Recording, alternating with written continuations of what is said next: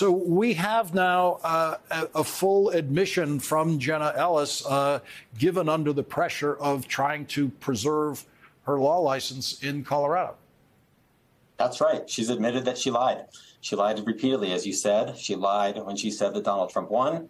She lied when she said that uh, Joe Biden stole the election. She lied when she said there was fraud. And she's admitted that there was real harm from those lies, not just harm in the American confidence and democracy, but you can trace her lies to January 6th very clearly, very directly.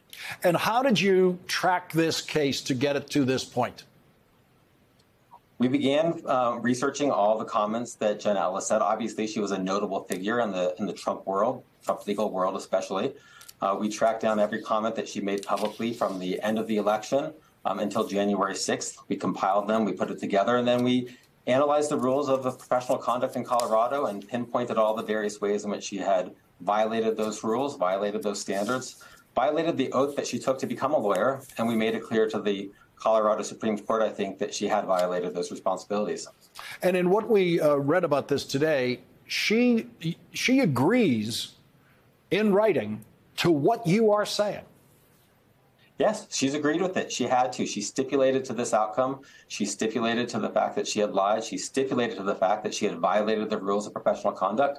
And she made clear that she had knowingly, at the very least, knowingly misrepresented facts to the American people.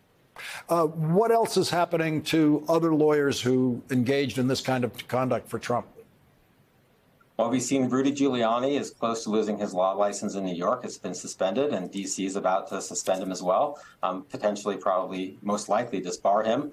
Uh, we've seen other lawyers have uh, state Supreme Courts or, uh, or the state bar move against them, John Eastman in California. And the 65 Project, which I lead, has filed 76 bar complaints across the country against other lawyers. This is a slow process, sometimes maddening slow. Uh, we actually uh, filed our complaint against Jenna Ellis over a year ago, just about a year ago. And so it's a slow process, but we're expecting other lawyers who participated in the effort to also face public discipline.